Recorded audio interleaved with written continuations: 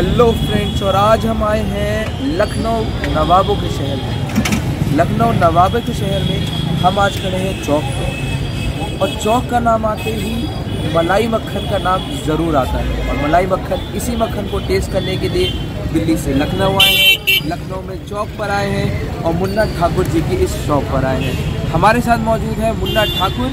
आइए उनसे बात करते हैं, पता करते हैं कि ये मलाई मक्खन इतना फ़ेमस क्यों है? क्या इसके रेसिपी है और टेस्ट करके इसका रिव्यू आपको ज़रूर देंगे।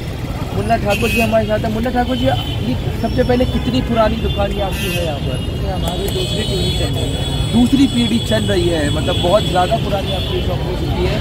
और मलाई मक्खन की बात करें तो ये फ़ेमस इतना क्यों है? मतलब क्या आप इसमें डालते हैं? क्या क्या किस तरीके का तैयार करते हैं? जो है जाड़े की मिठाई होती है। जाड़े की मिठाई जी।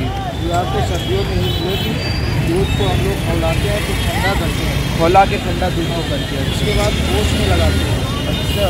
गोश्त में बनने के बाद फिर मसाले को मरते हैं उसका जो है मक्खन मलाई बना के तैयार करते हैं। तो बहुत ज़्यादा मेहनत का काम है। आइए टेस्ट करते हैं मक्खन मिलाई मुन्ना ठाकुर जी जो देखते हैं। जो मेहनत इसके पीछे है वो कैसी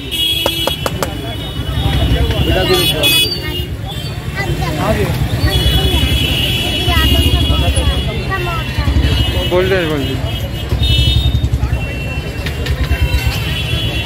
निकाल दो भैया